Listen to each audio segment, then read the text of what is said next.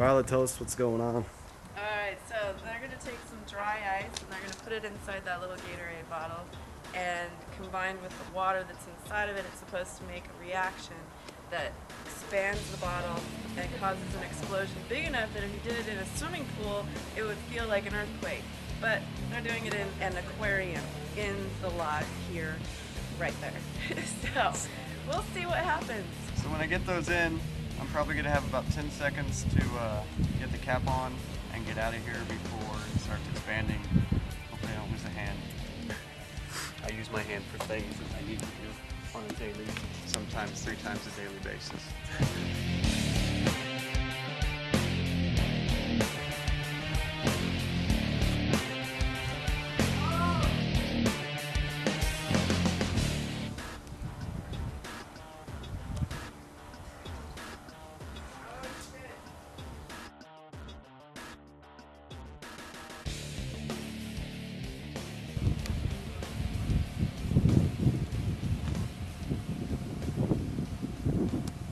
Good. Cut.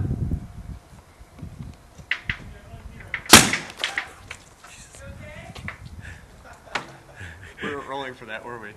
I had it. Oh, you had it rolling? Yeah. Yeah. That f***ing hurt so bad. Got a smaller bottle. and taped it to the uh, uh, the weight. It's flat as opposed to just drifting like it was before. Hopefully, if it starts floating, it's not gonna. It won't float in any direction pointed towards us uh, because the weight is on the bottom. And if it goes anywhere, it's gonna shoot straight up. Everybody ready? Glasses and goggles on.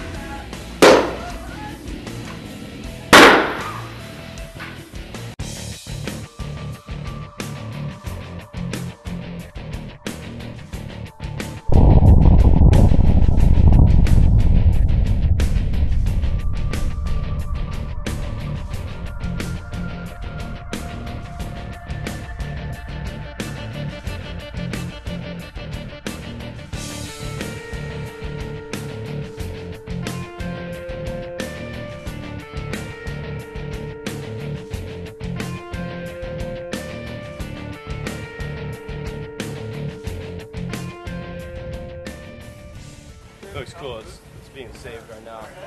Uh, looks good. Pretty fascinating stuff. That was loud.